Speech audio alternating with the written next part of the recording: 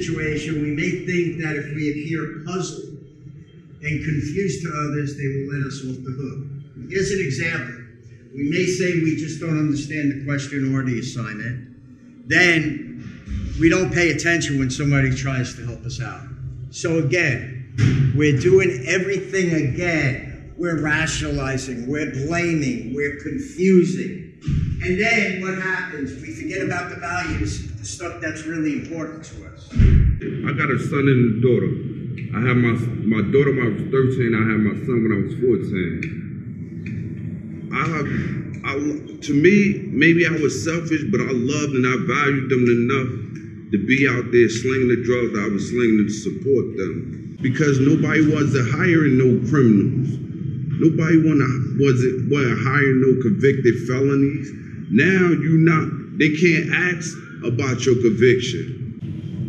So, you know, people did what they did because of the jobs. Like I said, you could say it's an excuse, but the fact of the matter is, it was real. It was hard for you to get a job back then. Now, when I went out there easier, like I said, it's it's easy to get a job out there. Now people should have no excuse. So when people are going to go out, you're going to have to value first and foremost, because if you forget, your freedom. And I hear that all the time. Within my six years of working in, in prison, I hear freedom. And people fight so hard to get out of here. So what we got to do is we got to think differently. And we got to change the way we think. Change is always going to end up with us. We're going to have to want it, whether we perceive it as we need it, like it's a lifeline, something got to change. Everybody hits rock bottom. And I mean, I've been going through this, I've been over 32 years off and on, you know. With substance abuse issues? Yeah, I mean, you know, just just didn't have no components like this, Uh-huh. facilitations available in the past, you know, back then. I'm sure I wouldn't be here today. I was in a lot of pain, so I kind of like got away as like medicating, self-medicating, not realizing that the underlying facts had yet to be revealed, and that I was suffering from addiction. But now that this this wonderful place has been erected, now I can say that I'm like I'm like this now. You know, I'm like I'm focused. So what I'm saying is, I say all that in conclusion to say that I'm prepared to come upon release. I'm preparing about reintegrating back into this, investing 2.0, which is to uh, I'm for the certified alcohol and drug counselor Okay. because I, I believe that I have a, a very riveting, compelling, and truthful testimony to my life that would keep me green, clean, and sober, keep me stable, keep me functioning. So what we've been talking about is majority of the time is we value our family probably the most, right? And everybody's goal in here, in here is what? Get home, go back to our family, right?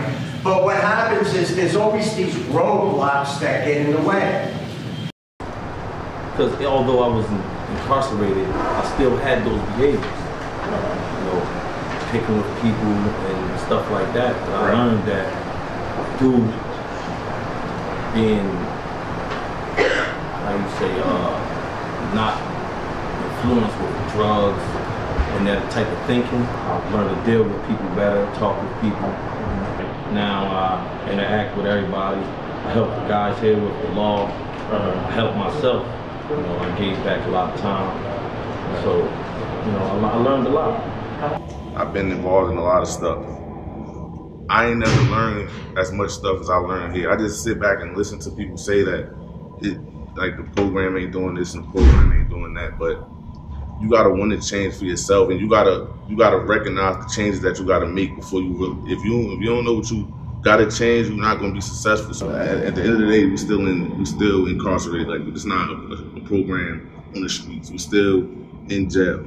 So for them to put a program like this in jail, it, it helps. We learn a lot of stuff. I mean, you take what you, you, you take you take what they give you. Some stuff ain't for you. Some stuff you need to know. I mean, so like he was talking about values. A lot of us say we value a lot of stuff that we do, that we think we value. We say we, we try to say, oh yeah, I'm doing this because I got a daughter. I'm doing this because I got a son, or I got to pay bills, or I'm doing this so I don't have to live on the streets. But we don't really value our families if we keep doing the same thing. We got to value ourselves. Like Cognitively, we have to think different. We have to change our whole thing, our whole way of thinking. now having knowledge of a lot of stuff about certain feelings, certain emotions that I have. I mean, certain reasons why I do certain stuff from the childhood.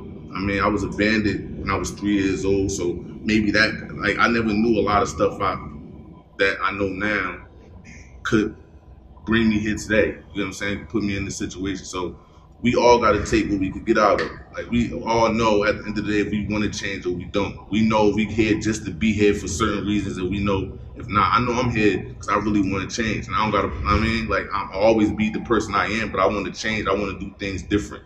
I mean, before it's too late. That's all, that's all I gotta say.